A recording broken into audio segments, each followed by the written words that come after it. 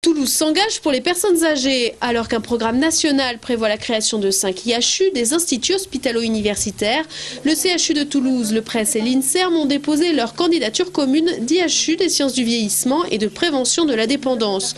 Une thématique plus que jamais d'actualité puisqu'en France, en 2060, la proportion des plus de 75 ans sera multipliée par deux et le nombre de centenaires pourrait atteindre les 200 000. Notre objectif, c'est de repérer le plus précocement possible des signes d'un début de fragilité chez les personnes âgées pour justement les réorienter vers un vieillissement de bonne qualité. Perte de poids, fatigue, ralentissement de la marche sont autant de signes que l'IHU va devoir déceler. Le premier objectif, c'est de mettre en place une plateforme d'évaluation des personnes âgées fragiles, qui serait une plateforme d'évaluation ambulatoire en centre-ville.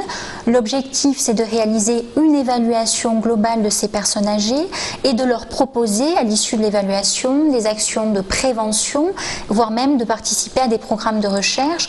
Donc cette plateforme travaillerait en lien fort avec la médecine de vie, la médecine générale et aussi avec les différentes spécialités. L'IHU va également mener des travaux de recherche et prévoit la création d'une école spécialisée dans le vieillissement. 19 candidatures d'IHU ont été déposées en France. Les 5 projets retenus devraient être connus d'ici une semaine environ.